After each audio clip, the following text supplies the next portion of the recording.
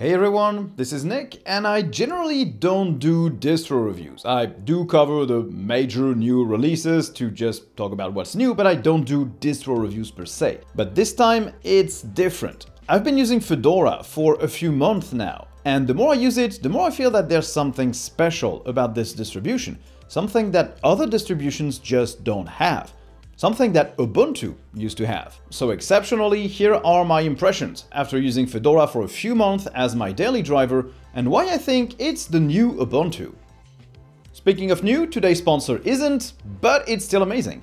Thanks to Linode for sponsoring this video. Linode is the best choice to deploy your own Linux or gaming server. Getting started is extremely easy thanks to their app marketplace. You can just pick from one of the many, many apps they offer, select a few configuration options, and just one-click deploy that server. It's super simple. It works for a development environment, but also for a Minecraft or Valheim server. Among the most notable apps, Linode has Moodle to create your own learning management system and teach and sell courses in minutes, but they also have stuff like Pi-hole to block ads. Even though Linus said it's piracy. From Focalboard, a Trello alternative to Rocket Chat, which is the equivalent to Slack or Teams, Linode has everything you would want. Click the link in the description to get your $100 credits and get started. Okay, so just to be clear, when I say that Fedora is the new Ubuntu, what I mean is that Fedora now fills the space that Ubuntu used to fill in the Linux distribution world. Ubuntu used to be the model for how to make a distro. Solid, well-stocked repos, a focus on user interface and user experience, a big community, an eye towards the future, and pushing innovation in the desktop space. Nowadays, Ubuntu has pretty much lost most of these advantages, but Fedora has picked up the slack. In short, Fedora being the new Ubuntu is a good thing. One thing that I really enjoy about Fedora is that they push the Linux desktop towards the future. Some call it bleeding edge, but it's not, it's cutting edge. You don't get the absolute latest, but you get the latest that's also stable. Fedora was among the first to adopt Wayland, the first to adopt Pipewire to push Flatpak, Portals, the first mainstream distro to push immutable file systems with Silverblue. They've always wanted to implement the latest technology without sacrificing stability and ease of use. Contrary to a full-on rolling release, which kind of feels like playing a Blizzard game.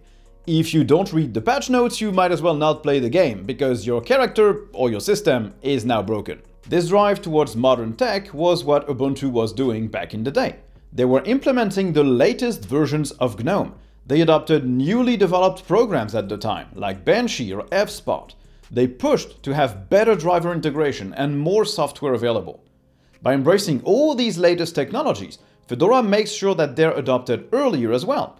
Implementing Wayland early, for example, didn't hurt people who couldn't use it, who were defaulted to X11, but it also helped Wayland a lot by generating more user feedback on what worked and what needed more time in the oven. To help make hardware support better, they also pushed LVFS, which lets hardware manufacturers provide firmware updates in a seamless manner for users, where everything is handled graphically and easily. Same goes for Pipewire, OSTree, Toolbox, or for any other tech that they chose to go with before others.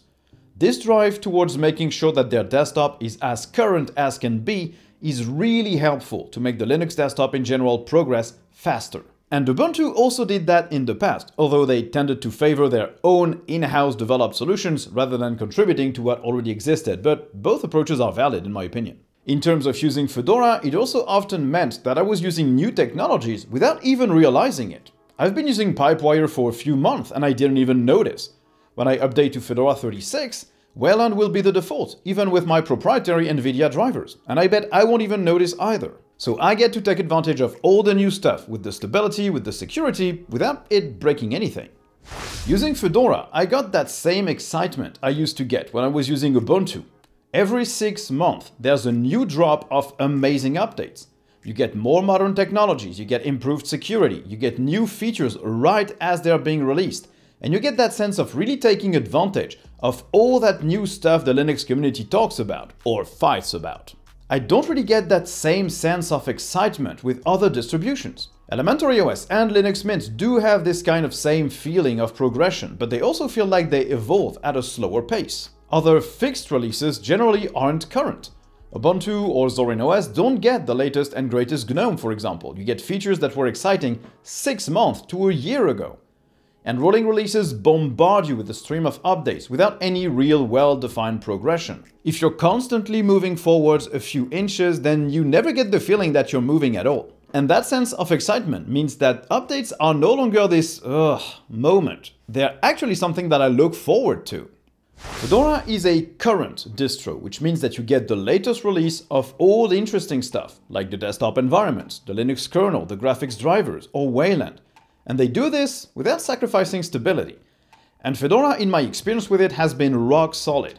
In general, I didn't have many problems with any Linux distro that I daily drove, but all of them tended to exhibit small issues after a while. Manjaro often had issues after installing updates, Stuff wouldn't work anymore, or required a reboot to be fixed, audio stopped working, or the microphone input volume was turned all the way down for no reason. On Elementary OS on my laptop, I have small issues that require a reboot. My email account shows as duplicated in the email app. Bluetooth shuts down and can't be re-enabled until you reboot.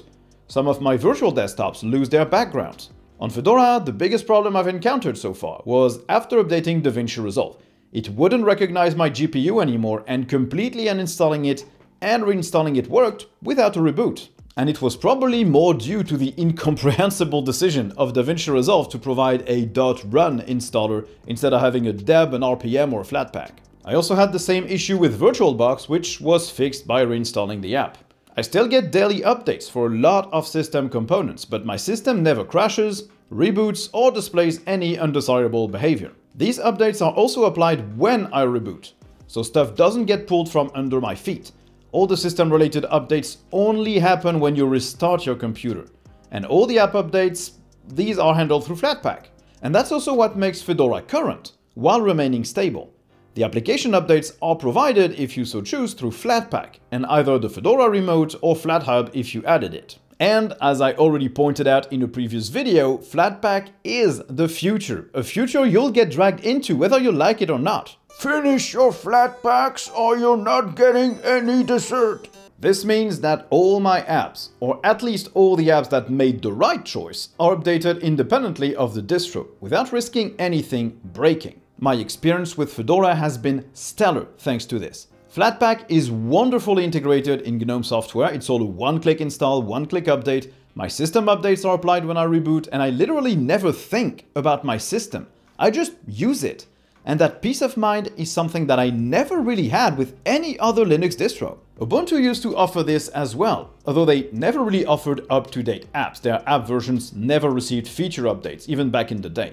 They did have a current version desktop environment though which they don't anymore. They have a weird mishmash of GNOME versions.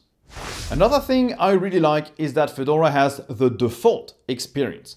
They ship the desktop as is, without any meaningful extensions, themes, configurations, or tweaks. Some people might think it's a bad thing, but it's up to individual choices. I can see why you would want to have a tweaked KDE or GNOME version, but I don't, not anymore. When I started using Fedora and Vanilla GNOME, I was a bit apprehensive. GNOME didn't work at all like what I was used to, which was a macOS-like version of KDE using Latte Dock. In the end, it took me a few hours to replace my flinging of the mouse to the bottom edge to reveal the dock into hitting the super key and displaying the dock, or just typing the name of the app I wanted. After that, it was just productivity central. GNOME for me doesn't need anything else than the default experience. It is extremely efficient once you wrap your head around how it works and providing me with a crutch, like an always visible dock or desktop icons, would just compromise that productivity. That's the way it is for me, at least. Don't get all offended. Your desktop icons might be a monstrosity, but you have every right to want to use them. You monster.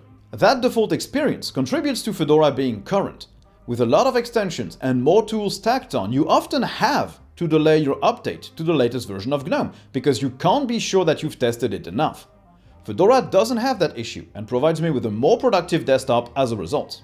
That was what Ubuntu was doing as well. The latest and greatest GNOME experience with all the bells and whistles and the default experience, except for the theme. And when they switched to Unity, it was the same thing, but obviously it was because they developed it, so yeah, of course they would have the default experience. Moving to Fedora also had me learn a few things, especially how to use DNF. I didn't need to use it, but I wanted to, and since I was a lot more familiar with apt, I had no idea what I was doing. Turns out Fedora has a huge community as well, something Ubuntu has had ever since it began, and that's another check mark on my Fedora is the next Ubuntu checklist. Fedora has very active forums and a lot of online help available to learn about these things. Applications often have an RPM, and if they don't, they tend to have a Flatpak version. Generally, you're not left behind. At least I never was. Everything I wanted to do, I could find a guide, a tutorial, or an application to do so, and it was extremely easy. So my experience with Fedora has been fantastic. I enjoy the great stability, the absence of issues, and the background updates at reboot. I love that I can get all my apps through Flatpak and how well it's integrated. I really enjoy the vanilla GNOME experience without added overhead or crutches that would detract me from GNOME's actual productivity, at least in my case. And I also love that it makes me excited to get updates again. Before, I just didn't really feel like they brought anything, or I even dreaded them because they had broken things for me in the past. Now I'm just updating every day, my apps get their fixes and new features right away, and my system will be up to date when I boot it back up in the morning. Could I get all of this on another distro? Probably yeah, but I would have to do some extra work to remove stuff I don't need, like extensions, and I would also not get all the latest and greatest tech without sacrificing the stability. And that's why Fedora, to me, is what Ubuntu used to be. It's up to date, it gets new stuff regularly, it's stable, it's user-friendly, and it pushes the Linux desktop forward which means that in the next few weeks, it will also replace Elementary OS on my laptop. Yes, it's that good. Just like today's sponsor, Slimbook. These guys make Linux laptops and desktops from Valencia, Spain. They have all keyboard layouts, they ship worldwide, they have a wide range of devices at all price points, like for example the Slimbook Essential, their entry-level Ultrabook. It's greatly designed, it's got a good screen, good internals, great keyboard, great build quality, and a low starting price. If you need a new Linux device, check the link in the description below and hit Slimbook up. They are really good. Now, thanks everyone for watching the video. I hope you enjoyed it. If you did, don't hesitate to like, subscribe, turn on notifications, drop me a comment, whatever else works. If you didn't like the video or you disagree, you can also drop a dislike and tell me why in the comments. And if you really enjoy what I do and you want to help support the channel, you can join my Patreon subscribers or my YouTube members. Both get access to a weekly Patreon cast and the right to vote on the next topics I'll cover. So thank you guys for watching, and I'll see you in the next one. Bye!